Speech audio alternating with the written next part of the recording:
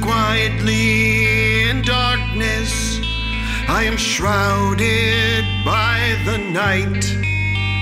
At the pinnacle of progress, I brought wonder and delight. But now I am so empty,